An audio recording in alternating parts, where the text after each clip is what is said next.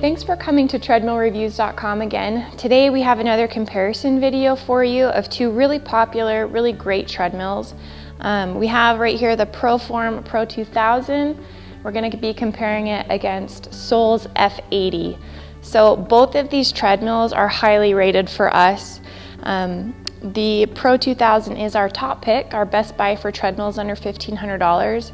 And the F80 is one of our favorites for treadmills between $1,000 and $1,300. If you go to their websites, um, their prices do fluctuate and they're slightly different in price. Um, currently, the Sole F80 is about $150 more than the Pro 2000.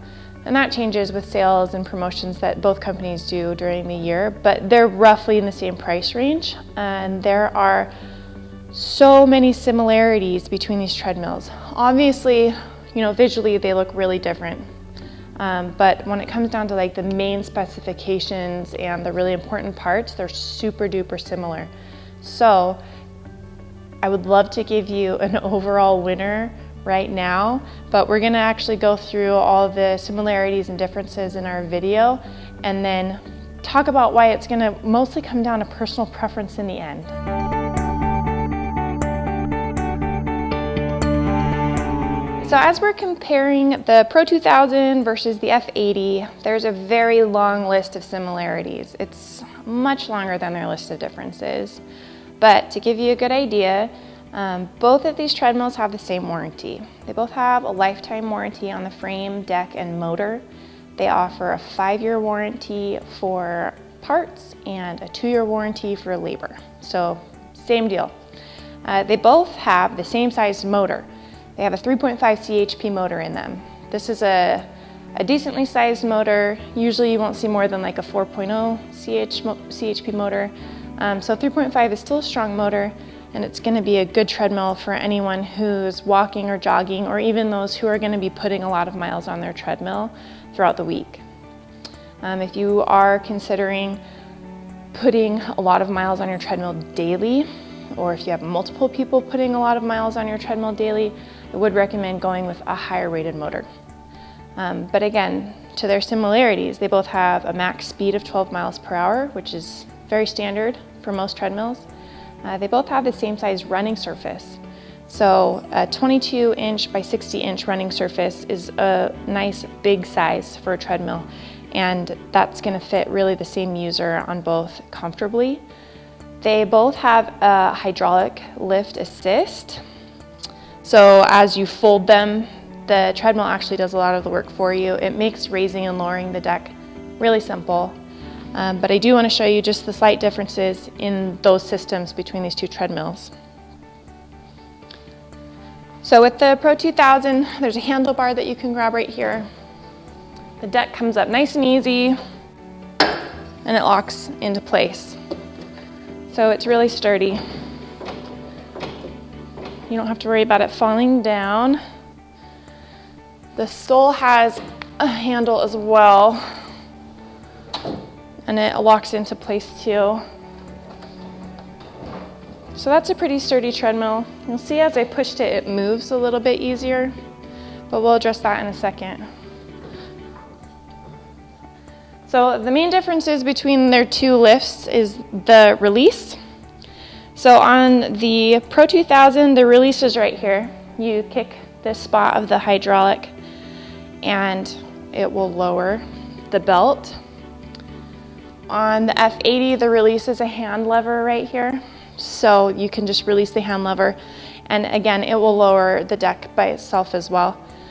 But as they come down, though they can both lower themselves on their own, the F80 does come down a little bit harder but I don't think either run any risk of damaging your floors. Um, we do keep treadmill mats underneath our treadmills though, so that's always a good idea. Um, I'll show you. We'll just release this guy and listen for the sound it makes as it comes down.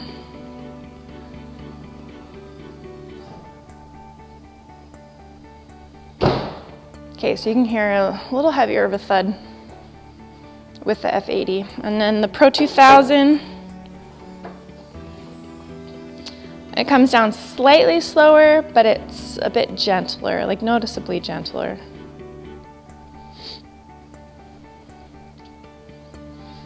Okay, so there's th that little difference, but they both are easy to lift. Um, they both fold, which is a great bonus for saving space. And they both have that hydraulic system in them, so it's, it's awesome. They lock in place, they stay up. Um, more similar, similarities include their storage trays. You can see that the Sole F80 has these storage trays here, and they also have an added row down here. And it's the same for the Pro 2000. So we have our two cubbies, and We've got a, an additional tray down here. Um, they both have a full steel frame, so they're both really sturdy treadmills. And you know, if you are running on them, you don't see too much of a jiggle. I would say that the F80 is a little bit sturdier because it doesn't have the height on it. Um, so you ha don't have as much in your face moving as you're running on it. Whereas with the Proform, while you're running, it's really sturdy and great, but you do have more up by your face, so you might notice more movement from the treadmill itself while you're using it. They both come with two options for heart rate monitoring.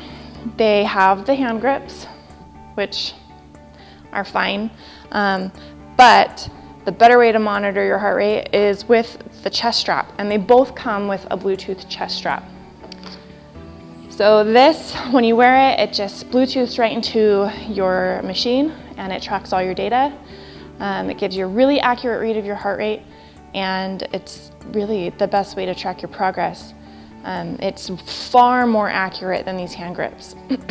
there are differences between their heart rate monitors. Um, you can see they both have a plastic front. It's not necessarily super forming to your body. There are more comfortable chest straps out there. Um, but you know, they're easy to clean, you can wipe them down. This elastic part detaches, it's also adjustable so it'll fit multiple users and you can wash it in the washing machine. So it's the same on both. I will say that the Sole chest strap is really, like these snaps are really hard to get in there.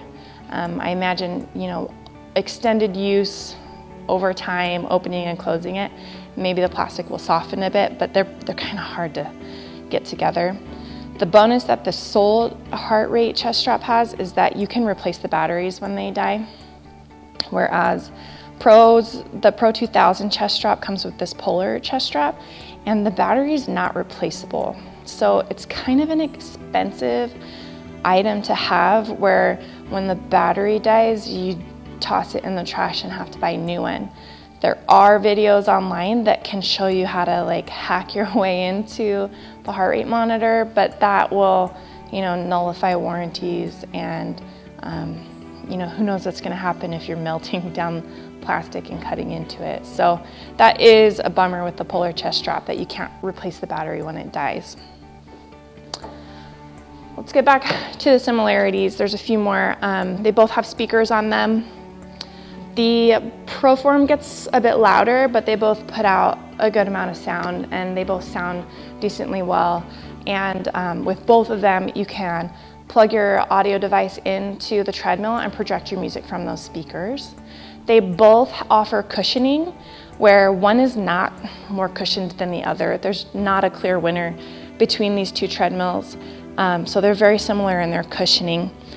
Um, they both have the safety key, you know, like every other treadmill. And as far as assembly goes, they're both pretty easy to assemble. It takes one person to put all these parts together. Um, you will need two people when you're securing the console onto the treadmill.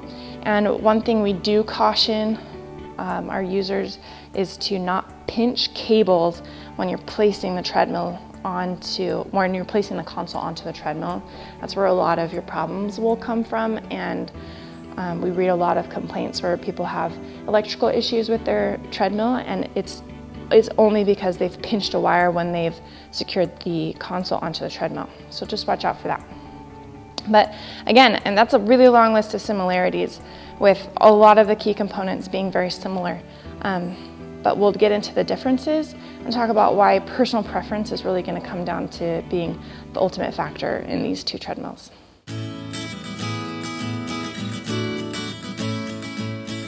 Okay, so some of the significant differences between um, just general specs in these two treadmills. Again, it's the Pro 2000 from Proform and the F80 from Sole. Um, they both have a different weight capacity. Sole, Sole does a really good job of providing a treadmill with a higher weight capacity that beats pretty much all their competitors. Their weight capacity for the F80 is 375 pounds.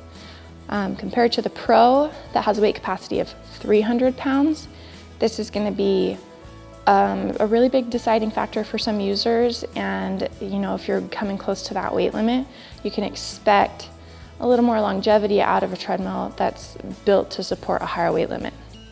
Um, they both are pretty sturdy, you know, full steel frame treadmills, but the Pro 2000 actually altogether weighs 320 pounds, where the F80 weighs 278 pounds. Um, this makes a difference for moving your treadmill around. It's not a huge difference in weight, but it could mean the difference of one additional person helping you get it into place in your home. Um, the weight doesn't really play a factor on just moving your treadmill from place to place. Uh, what plays the biggest factor in that are the wheels that they have below them. And I'll show you again. We'll fold these up. So you can see what I'm talking about. So the Pro 2000 has two wheels. They're right here on these ends of the feet. So to move this treadmill, you actually have to put your weight down here and pivot the treadmill on the wheels. So that's your 320 pounds that you're pivoting around. It's totally possible. It's gonna be a little harder on uh, carpet, but it's doable.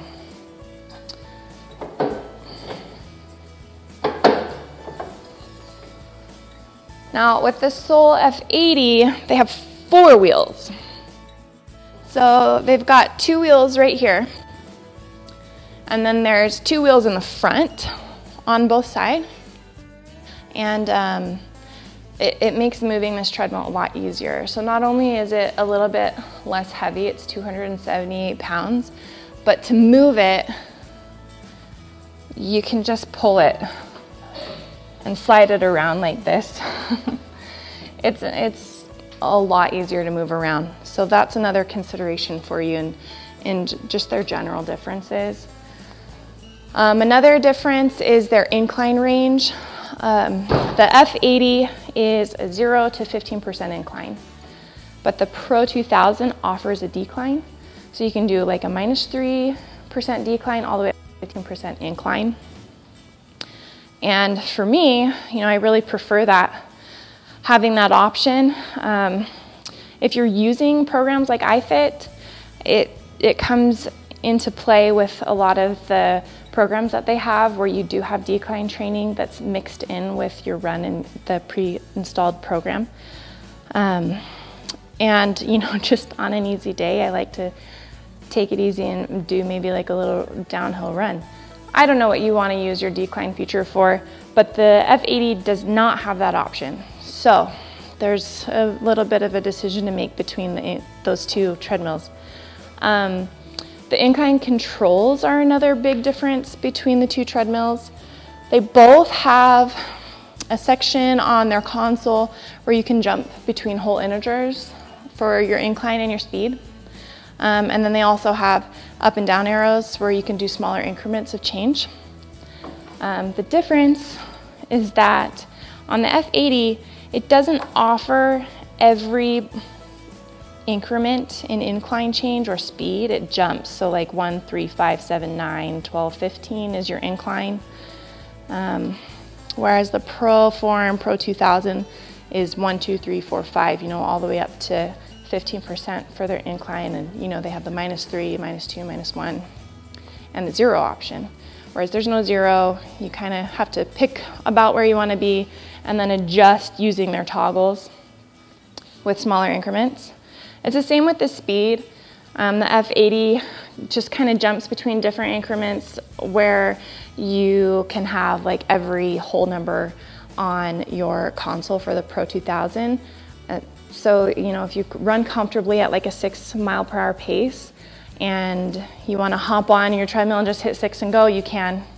Or if you wanna, you know, mid-run, change your pace to something, um, you can do that on the Pro 2000 a little easier than you can on the F80. Whereas with the F80, like they don't offer a six or an eight or 10, you know, whatever those numbers are that you're looking for. So you have to hit the nearest one and then adjust your speed with their smaller increment toggles. Um, they, the difference also, there's also a difference with the buttons. Um, these are all flat, which I think are nice because they're easier to keep clean and you have less problems with them jamming. Um, but down here, these are their smaller increment changes for their incline and their decline on the F80. They are raised buttons and they are on the handlebar. And this can kind of get in the way sometimes. So if you're, you know, jumping off to the sides of your treadmill and you grab it onto the handlebars, you have to get used to not hitting these buttons and adjusting because they are really short handlebars and it gives you really just a little bit of space to grab onto the handlebar without accidentally messing with your adjustments. Um, that's not a problem with the Pro 2000. These are also just a flat push button.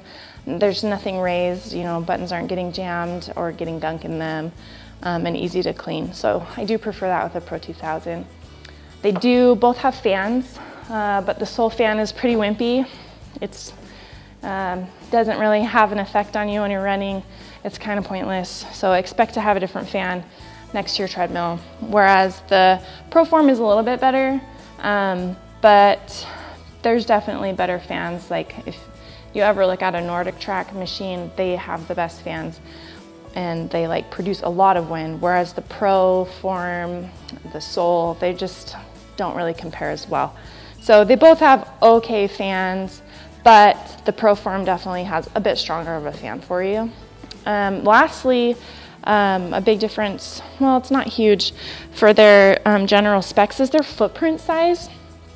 The sole is slightly longer in the deck, so it'll take up a little bit more space that way. But as you can like really clearly see, the Pro 2000 is a lot taller. This tablet holder can go away. So if you wanna eliminate some height, you can, but it's still significantly taller than the Sole F80. So it does make it feel like a lot bigger of a treadmill.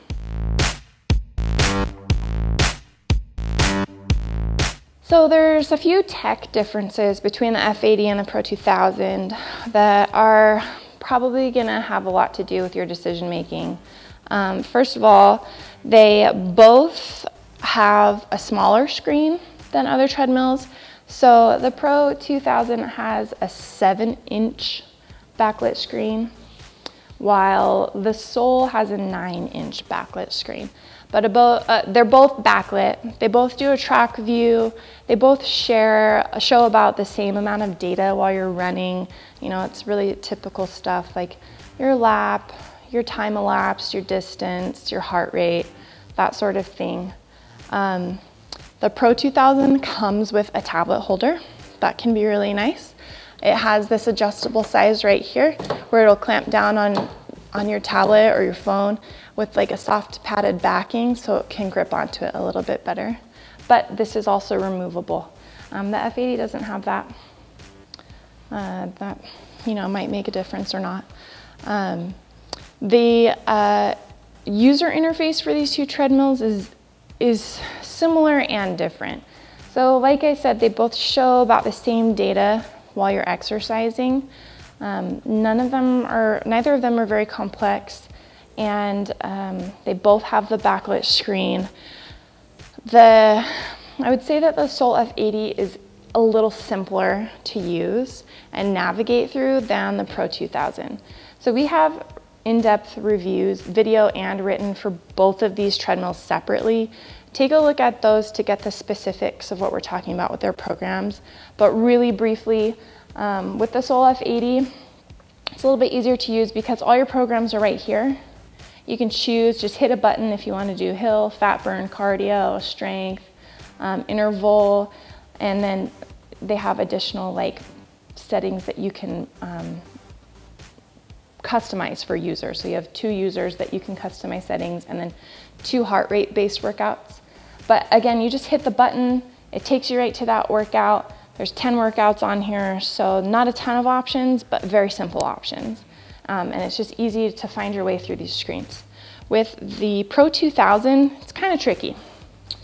Um, you can look at their fitness apps, but it's not super clear how to get from one type of training to the next.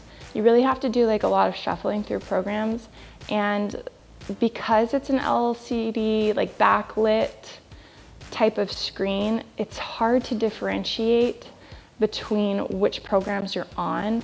So this treadmill does take a little bit more time to learn and to get comfortable with um, so you can just hop on and do the workout you want to do. Uh, the again, like all the buttons for changing the incline and speed, I think are better placed um, over here on the Pro 2000. But navigating through their programs and getting to where you want to be is a little bit easier to figure out on the F80.